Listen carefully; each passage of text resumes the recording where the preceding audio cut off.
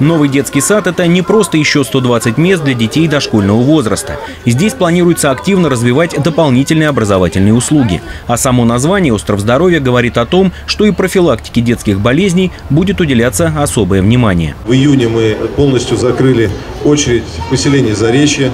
В июле мы закрыли полностью очередь в поселение Горское. Позавчера открыли садик Парамашкова. Сегодня открываем вот ваш садик.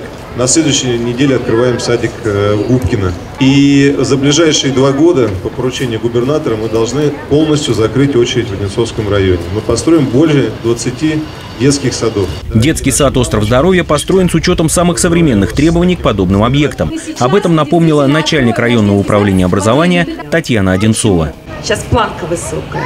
Новый образовательный стандарт. Мы ждем новых людей, новую молодежь, для того, чтобы наш Одинцовский район был действительно самым лучшим.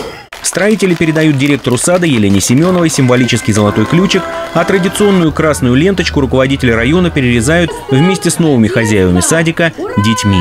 Затем Андрей Иванов отправился в короткую экскурсию по острову Здоровья. Здесь есть все для полноценного детского развития, игр и отдыха. На первом этаже разместился обязательный и уже привычный для новых детских садов бассейн. Ну и, конечно, какой же остров без пещеры. Оборудованная строителями соляная пещера станет еще одним преимуществом этого садика. Дополняет приятное впечатление красочно оформленные стены, просторные спальни игровые, современный пищеблок. Безусловно, открывать детские сады э, – это большая радость. Но то, что мы делаем э, в этом году, и те детские э, сады, которые мне удалось уже открыть, это совершенно иной взгляд на систему дошкольного образования. Совершенно новые стандарты и в строительстве, и в самой образовательной системе. Детские сады стали большими, высокие потолки, большие помещения, актовые залы, спортивные залы. Мы стараемся э, проектировать во всех детских садах бассейны, чтобы наши детишки с самого малого возраста уже э, получали э, здоровье сберегающие технологии, учились плавать, чтобы э, закаливались дети в этих детских садах. Сейчас нас требуют по новым образовательным стандартам натуральные материалы. Вот здесь сегодня мы увидели начинку, конечно, э, самую главную. То есть каждый ребенок будет спать на натуральном хлопке, будет сидеть за натуральным деревом. Кисточки будет только из хвостика белки.